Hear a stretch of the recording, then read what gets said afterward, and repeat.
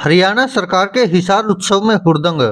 पंजाबी गायक काका के परफॉर्मेंस में फैंस ने कुर्सियाँ तोड़ी। वीआईपी गैलरी में फेंकी गई बोतलें। महिलाएँ फंसी, पुलिस ने किया लाठीचार्ज। दोस्तों, अगर आप ये वीडियो हमारे फेसबुक पेज पर देख रहे हैं तो यहाँ क्लिक करके फॉलो करें और साथ में इस बेल आइकन पर भी क्लिक करें। अगर दोस्तों, आप यह हमारी वीडियो यूट्यूब चैनल पर देख रहे हैं तो कृपया करके इस लाल बटन पर क्लिक करके सब्सक्राइब करें और साथ में इस बेल आइकन पर भी क्लिक करें।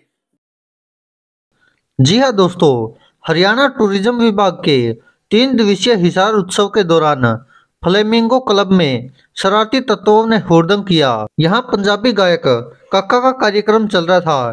कार्यक्रम के बीच में हुड़दंग के दौरान शरारती तत्व वीआईपी गैलरी में आ गए। वहाँ बोतलें फेंकनी शुरू कर दी। पुलिस कर्मचारियों की संख्या कम होने के कारण भीड़ बेकाबू हो गई। ऐसे में आयोजकों को पंजाबी गायक काका का कार्यक्रम निर्धारित समय से पहले ही बंद करना पड़ा। हिसार उत्सव का रविवार को अंतिम दिन था। रात करीब आठ बजे पंजाबी गायक काका ने गाना शुरू किया। शुरू में तो कुछ समय तक कार्यक्रम ठीक ठाक चला, परंतु जैसे जैसे रात होती गई और कार्यक्रम आगे बढ़ा तो फ्लेमिंगो क्लब के हाल में युवाओं ने हुड़दंग मचाना शुरू कर दिया। शरारती तत्वों ने हाल ही में पटाखे बजा दिए, जिससे अफरा तफरी बन गई। इसी बीच हुड़दंगियों के बीच महिलाएँ फंस गई।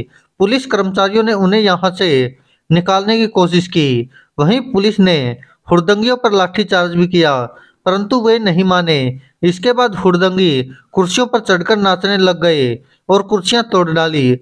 हुड़दंगियों के रवैये को देखकर लोग अपने घरों को जाने लगे। पुलिस ने लाठीचार्ज करते हुए तीन चार हुड़दंगियों को पकड़ लिया और अपनी गाड़ी में बैठा भी लिया। इसके बाद आयोजकों ने कार्यक्रम को बंद कर दिया। हालाँकि यह कार्यक्रम करीब रात दस बजे तक चलना था। इससे पहले शनिवार रात को भी हुड़दंगियों ने अजय उड्डा और रेणुका पवार के कार्यक्रम में भी भीड़ ने एंट्री को लेकर काफ़ी गहमा हुई थी। वहीं आपको बता दें कि तीन दिन का हिसार उत्सव का शहर के लोगों में काफ़ी क्रेज मिला।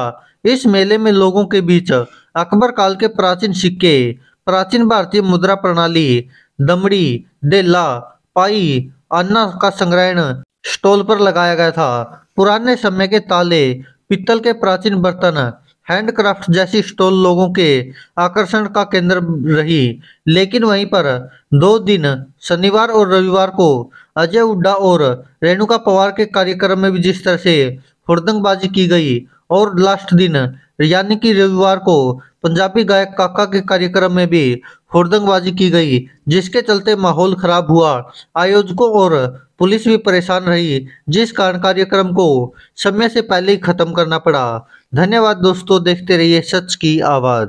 दोस्तों, अगर आप ये वीडियो हमारे फेसबुक पेज पर देख रहे हैं तो यहाँ क्लिक करके फॉलो करें और साथ में इस बेल आइकन पर भी क्लिक करें। अगर दोस्तों, आप ये हमारी वीडियो यूट्यूब चैनल पर देख रहे हैं तो कृपया करके इस लाल बटन पर क्लिक करके सब्सक्राइब करें और साथ में इस बेल आइकन पर भी क्लिक करें।